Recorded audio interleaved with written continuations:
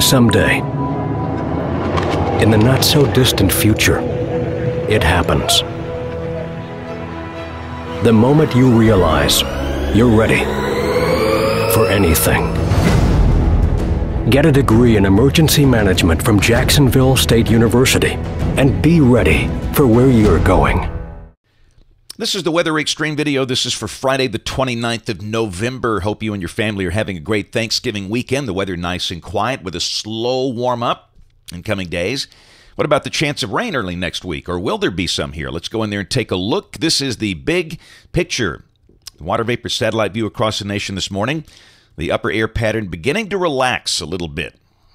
Got an upper low that's located west of Los Angeles, still troughing over the northeast, and it's still pretty cold down here. We're starting off the day around 20. In some of the colder pockets, Decatur sitting at 20. It's 21 for Gadsden and Fort Payne. Our sky watcher up at Black Creek, northeast of Gadsden, has 17 degrees at daybreak. Birmingham at 26, but we'll expect to be in the low to mid 50s today. Still below average, but we're still moving in the right direction. Around the nation, temperatures beginning to moderate ever so slowly, but it's still pretty cold for November. Look at that. Very quiet. That's good to see on this Thanksgiving holiday. No severe weather, heavy rain, snow events, just uh, very, very quiet, benign weather. And look at this. The uh, WPC guys have no rain here for the next five days. This is through Wednesday morning of next week. I guess you might debate Monday uh, whether there could be a little rain here, but obviously, one way or the other, it's not going to be a lot if it happens at all. Take a look at modeling. This is the GFS. This is the 06Z run, valid at noon today. And uh, you can see the upper low that's uh, not too far from Los Angeles.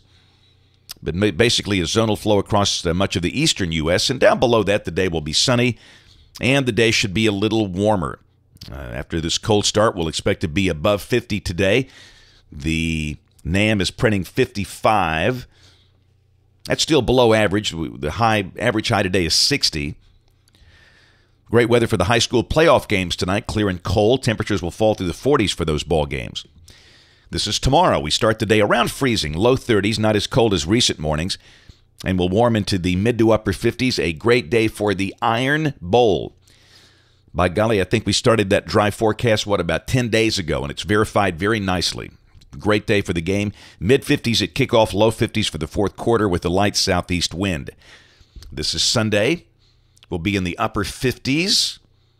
That'll feel like a heat wave. Let's go to Monday of next week. You can see energy coming through here, but the GFS continues to insist that it's too dry for any big rain. It kind of prints out a sprinkle or two, and that's about it. The European remains a little more aggressive, and again, you know, not much, barely enough to measure.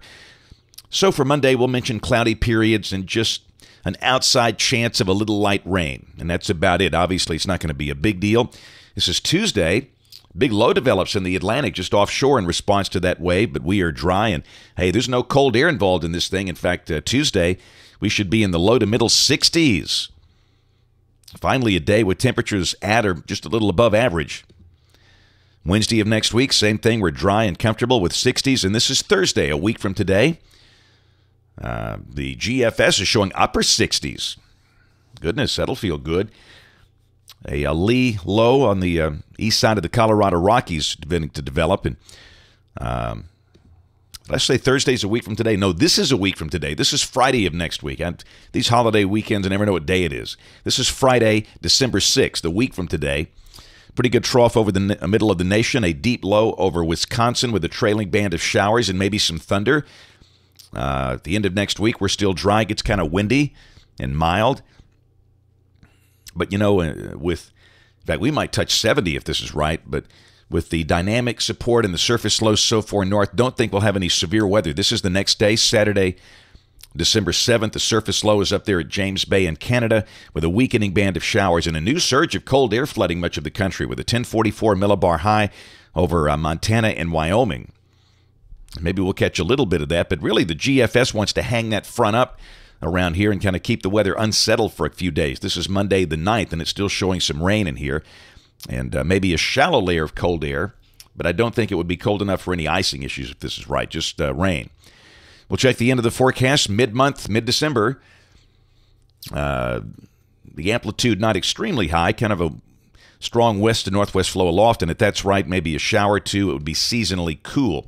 That's it for the Weather Xtreme video today. We'll have notes in the blog. Next video here, my next video will be by Monday morning at 7, and by then we'll go back on the two-a-day schedule. We're on the holiday schedule today with just one video, and uh, Brian Peters, the man that looks like Colonel Sanders.